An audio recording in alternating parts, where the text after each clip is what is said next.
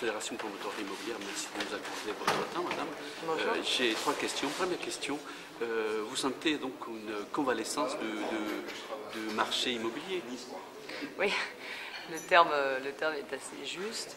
Depuis trois trimestres maintenant, hein, depuis euh, fin 2014, on constate une embellie de l'indicateur des ventes de logements, porté par euh, l'investissement locatif pour le moment et un petit peu par l'accession à la propriété. Donc euh, 20% d'augmentation des ventes de logements neufs chez les promoteurs immobiliers.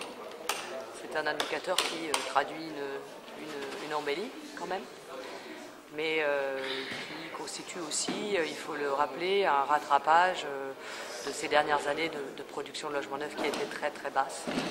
Donc on est revenu à peine un petit peu plus du niveau de ce qu'on produisait en 2011, de ce qu'on vendait en 2011. Voilà.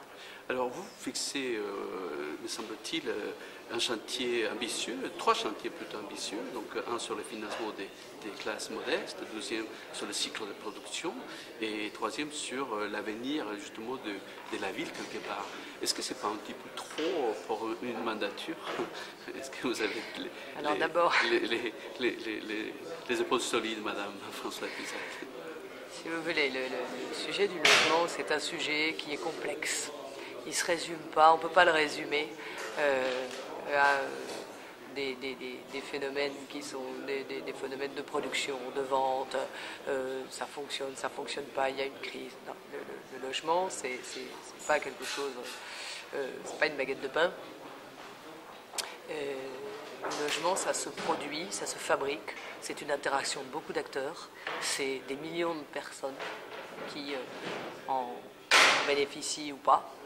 Et ce sont des millions d'emplois qui euh, sont cristallisés autour de cette filière du logement et du bâtiment d'une manière générale.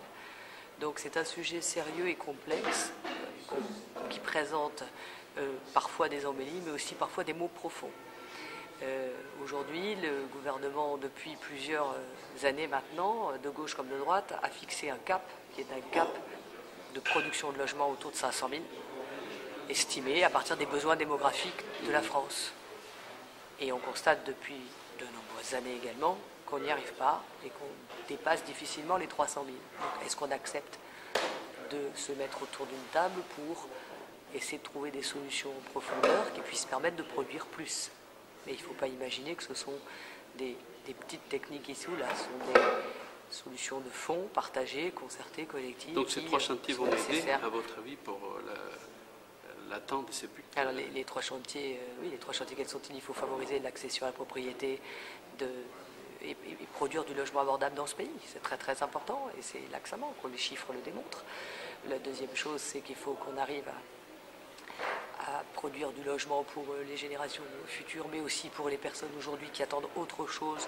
euh, qu'un logement classique, ordinaire, tel qu'on peut présenter. Des demandes euh, s'expriment tous les jours sur l'évolution de- de l'usage du logement. Je pense par exemple des choses très simples, la colocation, euh, les espaces euh, de travail partagés, ce qu'on appelle le coworking, le télétravail qui laisse parfois, qui impose d'avoir un coin bureau chez soi aussi pour, travailler, euh, le rapport à la ville, du bâtiment avec les transports privés ou publics, tout ça, ça produit, ça demande de, s'interroger et de préparer le logement de demain. Donc c'est très important. Et puis euh, le, troisième chantier, c'est d'être capable de, de coproduire, de coproduire ensemble, de, de produire plus, d'embellir nos villes et donc de partager la ville et donc de sortir des logiques individuelles, corporatistes. Maintenant que je suis dans la ville et que je l'habite, j'ai pas envie qu'un autre y vienne. Donc comment on fait pour changer ça? On améliore la C'est un concertation changement en de philosophie au sein de la Oui, sur nos pratiques culturelles qui peuvent quand même évoluer. Moi, j'ai- j'ai la faiblesse de penser et d'espérer euh, que les Français, euh, professionnels comme citoyens dans le sujet du logement, euh, sont capables euh, euh, de développer des, des- réflexions beaucoup plus guidées par l'intérêt collectif. Et l'intérêt collectif, il n'est pas toujours si éloigné que ça des intérêts individuels, mais en tout cas, il doit prévaloir, parce que le logement, c'est quelque chose qui n'est pas un produit comme les autres, pour répondre tout à l'heure à votre question. Et, justement, vous récusez, vous avez dit bien, récusez les termes euh, produits pour parler de logement.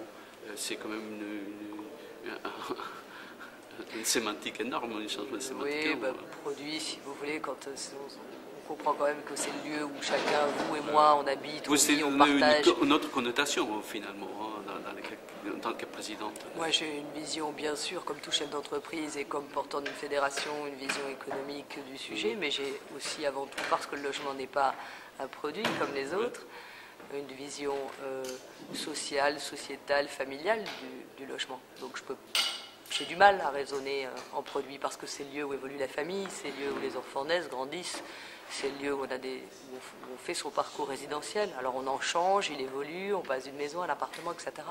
Mais c'est quand même un nid, c'est quand même un refuge, c'est quelque chose qui est prépondérant dans nos sociétés. Et euh, voilà, voilà pourquoi j'ai ce petit caprice de ne pas l'appeler produit.